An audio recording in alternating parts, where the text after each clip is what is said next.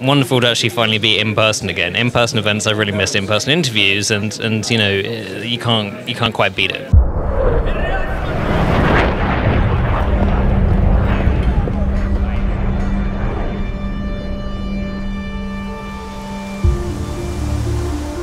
Do you have a girl back home? no. Do you? Show him around. I'm afraid of this dream. Of waking up. Of losing you. A report has been received implying you have engaged in immoral conduct with the private. Give me his name. We could escape. Sergei, I'm an officer. I can't leave my motherland. Sexual relations of a man with another man, which is punishable by five years imprisonment in a hard labor camp. If there is the slightest truth in that report, nobody can protect you then. I see what goes on under my nose. I knew it.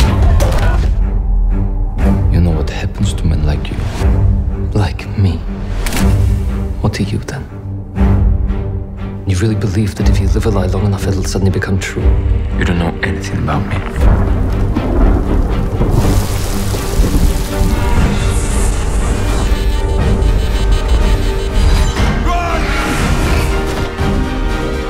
Won't tell anyone.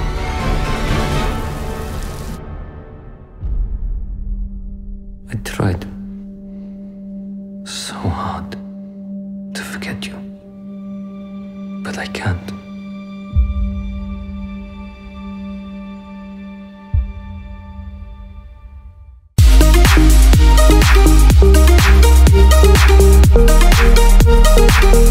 You for stopping and having a chat with us. It's lovely to meet you. How are you feeling? Uh, quite surreal, honestly. Yeah, it's it's been a, a long process. It's been about seven years in the making for me. So, yeah, it's it's amazing to finally be premiering in my home country and, and sharing the film with the world.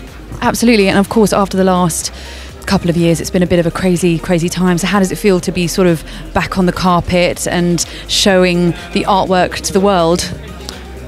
Wonderful. Wonderful to actually finally be in person again. In person events, I really missed in person interviews, and, and you know you can't you can't quite beat it.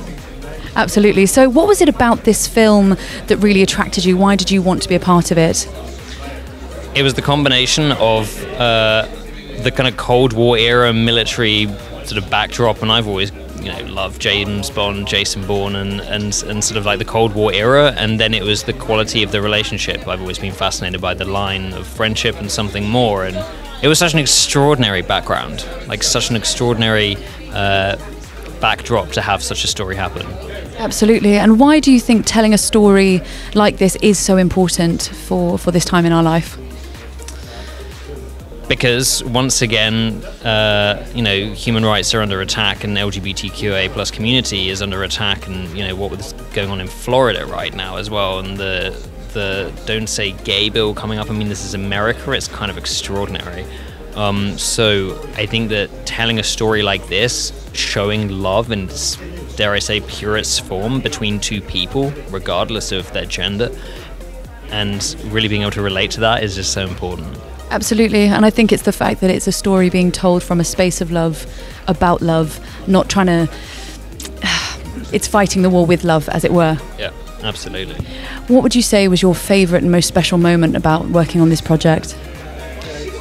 I think actually going to meet Sergei in Russia, getting to know him, and getting to ask him questions about his time on the Air Force Base, and and also, I mean, having his his passing of, of he, he passed away in 2017 and attending his funeral and being able to basically be around those who you know he was so dear to and really making a dedication in that moment to go like I will tell you a story to the best of my ability however I can to bring your story to the world That's beautiful, really beautiful.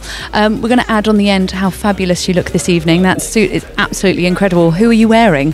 Um, that actually, I think Stu will have to tell you, only because I've gone completely. Which means it's a secret, and we're not telling anyone because it's secret fashion.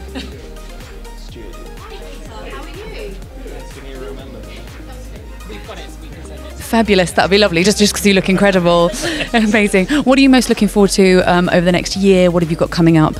Well, I want, certainly want to continue to write more stories um, and write more films. And then also, I just really want to get my teeth into something really great acting wise. I mean, another like film job maybe, and also honestly have a break.